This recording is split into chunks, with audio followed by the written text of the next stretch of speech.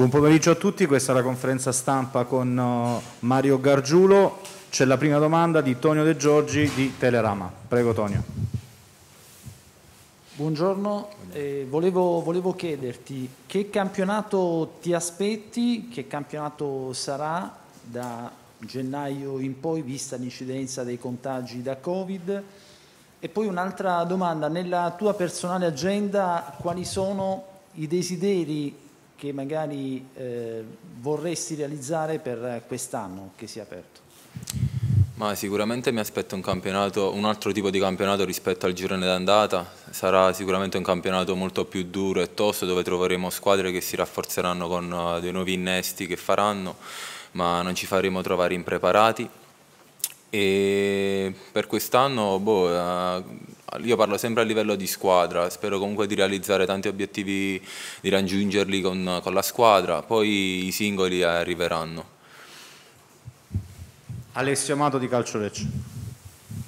Eh, ciao Mario, siamo più o meno a metà campionato. Un tuo bilancio personale nel senso proprio di partendo dal tuo approccio all'ambiente giallo-rosso, quindi come si è sviluppato in questi mesi. Seconda domanda invece se questa situazione legata al Covid chiaramente generale, non solo in casa Lecce, a voi calciatori comunque crea non lo so, qualche, o qualche preoccupazione personale o qualche fastidio su quella che è la normale preparazione che dovrebbe essere?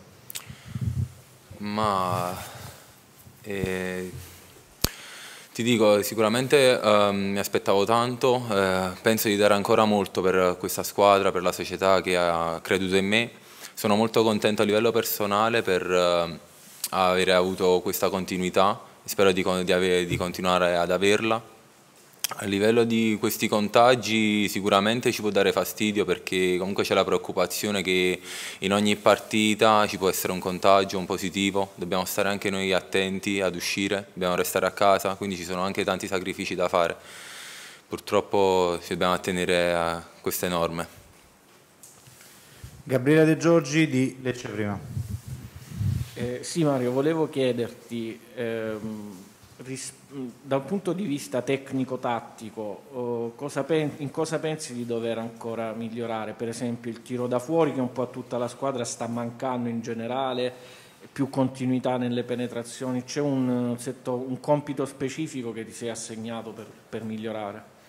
Ma sicuramente mi sono rivisto un po' di partite che ho fatto il girone di andata e ho tirato molto poco in porta da, da fuori area. Sicuramente questo obiettivo qui è quello che mi devo porre nel girone di ritorno, di cercare il tiro da fuori e le, comunque le incursioni e la profondità la sto dando. Sicuramente dovremo e dovrò continuare a dare sempre di più in ogni partita e soprattutto poi partirà soprattutto dall'allenamento.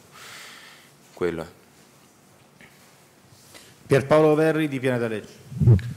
Buonasera Mario, mm, volevo chiederti, adesso sta arrivando un periodo molto intenso alla ripresa perché ci sarà il recupero della partita con il Vicenza, si chiuderà il girone d'andata con il Pordenone, ci sarà anche la sfida prestigiosa di Coppa eh, all'Olimpico contro la Roma, quindi un periodo di impegni ravvicinati, eh, come ci si prepara al meglio e se pensi che tante partite ravvicinate possano diciamo, essere uno snodo importante eh, per prendere al meglio il rientro appunto dalla sosta. Ma sicuramente avremo tante partite ravvicinate e questo potrà far sì che tanti giocatori che hanno trovato meno spazio nel girone d'andata la possano ritrovare ora, che abbiamo ogni tre giorni una partita che sono una più importante dell'altra. E quindi dobbiamo continuare così come stiamo facendo, anche nelle giornate di festa che abbiamo avuto non abbiamo mai smesso, ci siamo sempre allenati, abbiamo avuto un programma da seguire. Dobbiamo continuare così, ogni allenamento deve essere importante per... Uh, affrontare la prima partita che è il Col Vicenza nel migliore dei modi. Matteo Bottazzo, Canale 85. Ciao Mario, a proposito di Vicenza, l'altra volta praticamente eravate coi borsoni in mano per eh, disputare la partita, è arrivato lo stop da parte dell'ASL. Come e con quale prospettiva, con quale stato d'animo ritrovate il Vicenza, soprattutto che sarà rinforzato da, questa, da questo inizio della campagna acquisti invernale? Ma questo non ci deve preoccupare, eravamo pronti di giocarla dopo Natale, dobbiamo essere pronti ora.